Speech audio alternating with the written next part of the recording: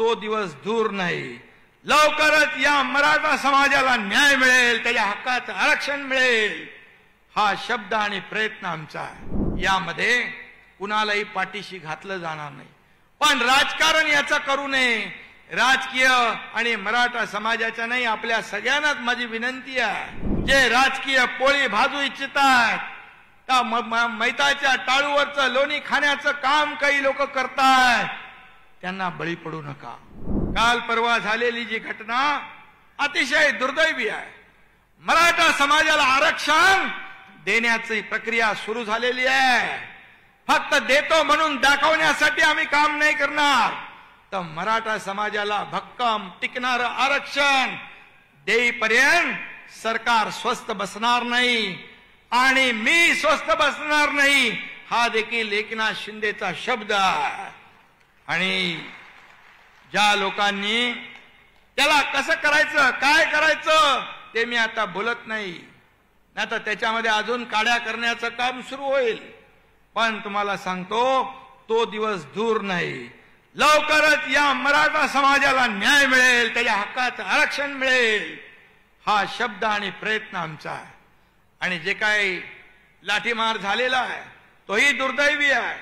आणि म्हणून त्या त्यासाठी मी स्वतः तुम्हाला मी सांगतो आंदोलन करते.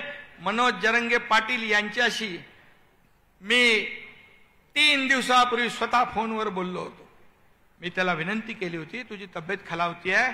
तू बाबा हॉस्पिटलमध्ये ऍडमिट हो. आणि आपल्याला त्याची चिंता होती त्याच्या जीवाची चिंता होती. त्याच्या माझ्या तीन चार बैठका झाल्या होत्या. त्याचा जो मुद्दा आहे त्याच्यावर काम देखील सुरू आहे. परंतु दुर्दैवाने ती घटना न हो- व्हावी ती घटना घडली. पण त्यामधून मी आपल्याला एवढंच सांगतो की ते जे अधिकारी आहेत त्यामध्ये जे अधिकारी एस पी आहेत तिथले का दोषी म्हणून त्यांची त्यांच्यावर सक्तीवर सक्तीच्या रजेवर जाण्याचा निर्णय या ठिकाणी मी घ्यायला सांगितलेलं आहे. त्याचबरोबर जे दुसरे ॲडिशनल एस पी आणि डीवायएसपी आहेत त्यांना देखील तात्काळ जिल्ह्याच्या बाहेर पाठवण्याच्या सूचना मी दिलेल्या आहेत. आणि त्यानंतर एक additional DG law and order Saxena उद्याच त्या जालन्यामध्ये येतील आणि जी काय शहानिशा आहे ती करतील. आणि ती चौकशी झाल्यानंतर या ठिकाणी ज्यांचे दोषी आढळतील त्यांना त्यांच्या ह्याच्याप्रमाणे निलंबित करावं लागलं तरी ते निलंबित देखील केलं जाईल. हे देखील मी या ठिकाणी आपल्याला सांगू इच्छितो. आणि वेळ पडली तर या ठिकाणी न्यायालयीन चौकशीची आवश्यकता असेल तर न्यायालयीन चौकशी देखील केली जाईल. आपण स्पष्टपणे या ठिकाणी आपल्याला एवढंच सांगतो. यामध्ये कुणालाही पाठीशी घातलं जाणार नाही. पण राजकारण याचा करू नये. राजकीय आणि मराठा समाजाच्या नाही आपल्या सगळ्यांनाच माझी विनंती आहे की अशा कार्यक्रमातून जे राजकीय पोळी भाजू इच्छितात त्या म- मैताच्या टाळूवरचं लोणी खाण्याचं काम काही लोक करतात त्यांना बळी पडू नका. त्यांना बळी पडू नका. हे सरकार तुमचं आहे. हे सरकार सर्वसामान्य माणसाचं आहे. त्यामुळे तुम्हाला आम्ही कधी अंतर येऊ देणार नाही. एवढंच मी आपल्याला सांगतो.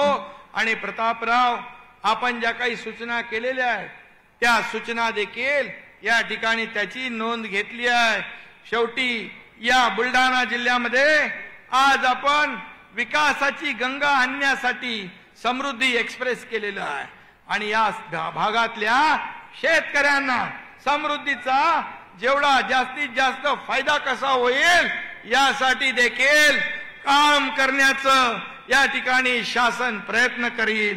मला वाटतं आपण एवढ्या मोठ्या संख्येने उपस्थित झालात शांतपणे या ठिकाणी बसलात आणि आपल्या सगळ्यांना सहकार्य केलं त्याबद्दल मी आपल्याला सगळ्यांना मनापासून धन्यवाद देतो. आणि त्याचबरोबर जे पावसाने ओढ घेतलेली आहे पाऊस लांब गेलेला आहे दुष्काळाचं चित्र आपण पाहतोय. यासाठी सरकार शेतकऱ्यांना वाऱ्यावर सोडणार नाही. शेतकऱ्यांच्या पाठीशी सरकार उभं राहील. आपल्याला जे जे काही पाहिजे तेव्हा या सरकारची तिजोरी खुली करायला सरकार माग पुढं बघणार नाही. मग पाणी असेल चारा असेल शेतीला पाणी असेल या सगळ्या बाबतीत सरकार तुमच्या पाठीशी उभं राहील. धन्यवाद. जय हिंद. जय महाराष्ट्र.